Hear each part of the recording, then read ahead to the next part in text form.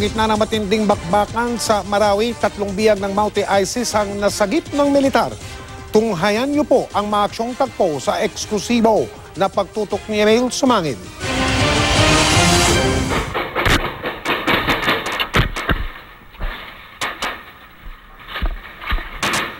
Gumagalaw palapit sa posisyon ng mga teroristang Maute ang team na ito ng Scout Ranger Regiment ng Philippine Army nang ma-penetrate nila ang istrukturang ito. Maingat ang susunod nilang mga naging galaw dahil ang timbre ng sundalong nasa harapan may nakita siyang mga sibilyan.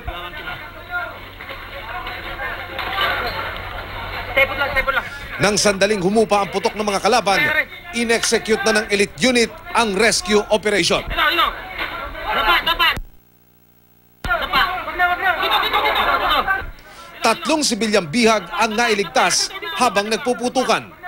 Hindi na muna namin papangalanan ang mga nailigtas. Alinsunod na rin sa pakiusap ng AFP.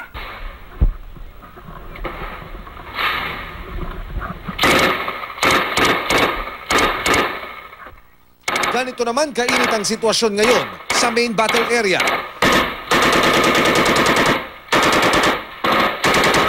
Halos wala nang patid ng ground assault ng mga elite unit ng Philippine Army. Kaliwat kanan kung banata ng rocket-propelled grenade o RPG ang posisyon ng mga terorista para maparalisa ang kanilang depensa. Nagkakamada rin ng sandbags ang ating mga sundalo para magsilbi nilang pangdepensa. Ngayong araw nakatutok pa rin ang military offensive sa istrukturang ito na kinukublihan ng mga maute na halos nasa tabi lamang ng isang moske.